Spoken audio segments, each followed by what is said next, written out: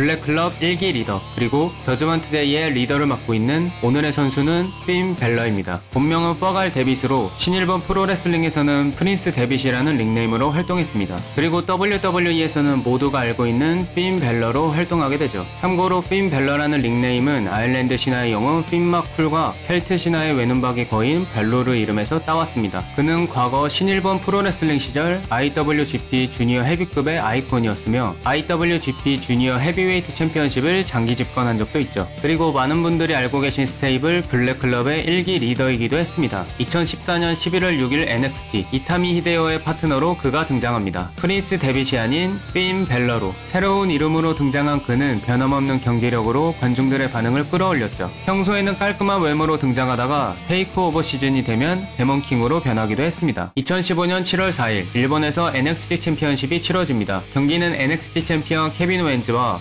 데몬킹 핀 벨러의 매치였죠. 일본은 핀 벨러의 제2의 고향과 같은 곳이었기 때문에 그에게 엄청난 환호가 쏟아져 나왔습니다. 경기 결과는 팬들의 격렬한 환호 속에서 핀 벨러가 NXT 챔피언십을 가져옵니다. 이어서 NXT 테이크오버 런던에서 잭 더 리퍼를 연상시키는 등장으로 사모안조를 꺾고 NXT 테이크오버 댈러스에서는 전기톱을 들고 등장해 또 한 번 사모안조를 꺾습니다. 하지만 라이브 이벤트에서 사모안조에게 결국 패배해 NXT 챔피언십을 뺏깁니다. 2016년 6월 15일 NXT 핀 벨러는 자기의 next를 찾고 있었고 그 next 선수로 신스케 나카무라가 등장합니다. 2016년 7월 13일 NXT 핀 벨러와 신스케 나카무라의 경기가 치러집니다. 이 경기는 핀 벨러가 NXT에서 치르는 마지막 경기였죠. 경기는 두 선수의 노련한 경기 운영으로 진행되었고 결과는 신스케의 킨샤사 세방으로 핀 벨러가 패배합니다. 경기 후 팬들은 Thank you 벨러 chant를 외쳤죠. 2016년 7월 19일 스맥다운 이날은 드래프트가 진행되고 있었고 로우로 갈 선수로 핀 벨러가 선택됩니다. 로우로 승격한 핀 벨러는 가자마자 초대 WWE 유니버셜 챔피언십 도전자 결정전 1회전에서 승리하였고 결정전 2회전에서 올라온 로만 레인즈와 최종 도전자 경기를 치르게 되죠. 경기 결과는 놀랍게도 핀 벨러가 승리를 가져갑니다. 그렇게 결국 2016년 썸머슬램에서 핀 벨러와 세스 롤린스의 초대 WWE 유니버셜 챔피언십 매치가 발표되죠. 2016년 썸머슬램 핀 벨러는 데몬킹 버전으로 등장하였고 세스 롤린스와 치열한 경기 끝에 승리를 가져옵니다. 그는 로우로 승격하자마자 초대 WWE 유니버셜 챔피언이 되면서 팬들을 더 기대하게 만들었죠. 다음날 로우 초대 WWE 유니버셜 챔피언이 된 핀 벨러가 오른쪽 팔에 깁스를 하고 등장합니다. 안타깝게도 그는 어깨 부상 소식을 팬들에게 알렸고 결국 하루 만에 유니버셜 챔피언십을 반납하게 됩니다. 그리고 오랫동안 공백기를 갖게 되죠. 2017년 4월 3일 애프터매니아 로우 이날 세스 롤린스의 미스테리 파트너로 핀 벨러가 공식적으로 복귀합니다. 복귀 후 그는 브레이 와이엇과 대립해 2017 썸머슬램 노머시에서 승리를 가져갑니다. 그리고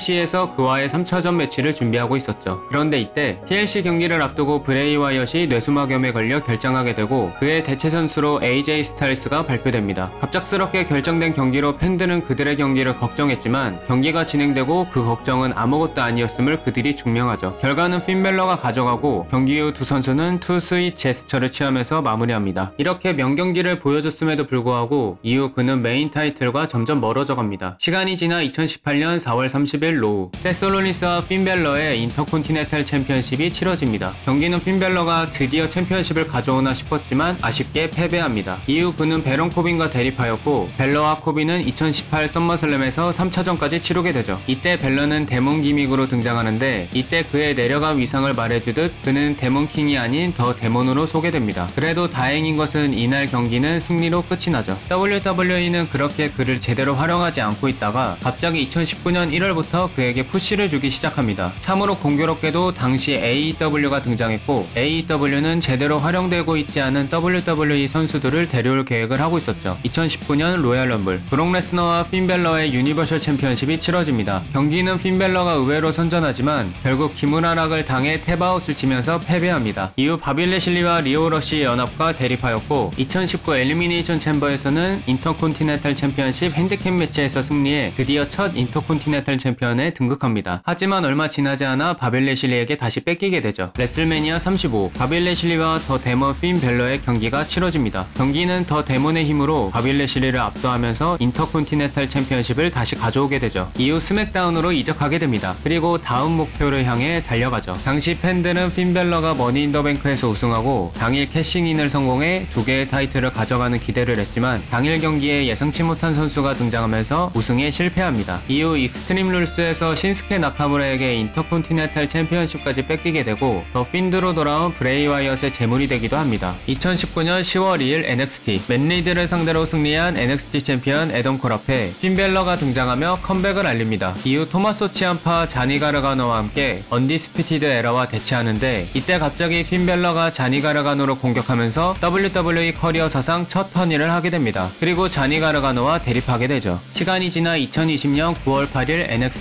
캐리언 크로스의 부상으로 공석이 된 NXT 챔피언십을 두고 애덤 콜과 핀벨러가 경기를 치릅니다. 경기 결과는 핀벨러가 승리하면서 무려 5년 만에 다시 NXT 챔피언 자리에 오르게 되죠. 하지만 다시 돌아온 캐리온 크로스에게 패하면서 NXT 챔피언십을 뺏기게 됩니다. 2021년 7월 16일 SmackDown 세미 제인이 segment를 진행하고 있는데 이때 갑자기 핀벨러가 등장합니다. 그리고 자신이 복귀했음을 알리죠. 2021년 Extreme Rules 로만 레인즈와 The Demon 핀벨러의 Universal 챔피언십이 치러집니다.